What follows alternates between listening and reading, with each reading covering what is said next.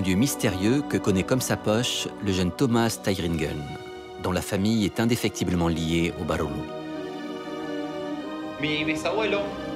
Mon arrière-grand-père était fils d'immigrés italiens. Il est devenu comptable en 1926 et a ouvert son étude de comptabilité ici dans l'immeuble.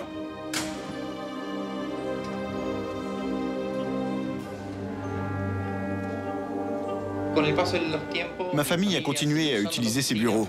Ma grand-mère, puis ma mère. En ce moment, c'est un de mes oncles qui les utilise.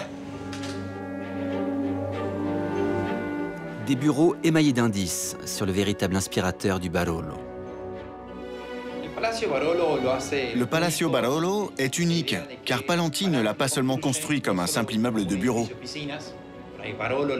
En effet, il s'est inspiré de la Divine Comédie de Dante Alighieri. On peut retrouver des détails à différents endroits dans l'immeuble qui font référence aux allégories du poème de Dante.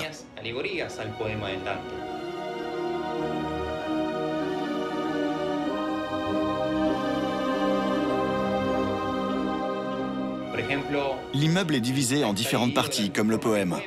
L'enfer, le purgatoire et le paradis. Le rez-de-chaussée représente l'enfer. C'est pour ça qu'on voit des dragons masculins et féminins.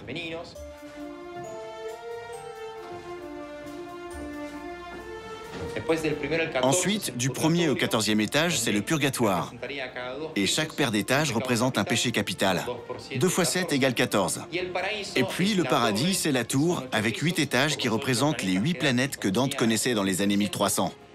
Enfin, nous avons le phare, qui représente Dieu, quelque chose de divin, la lumière.